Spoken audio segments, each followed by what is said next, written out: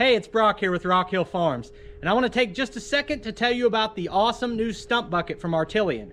This is the original Artillian stump bucket. I absolutely loved it.